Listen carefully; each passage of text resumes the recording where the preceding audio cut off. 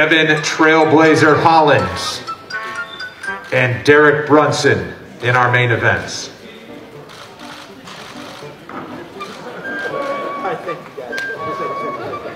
We'll see you tomorrow night, ESPN 2 for the prelims, ESPN main card.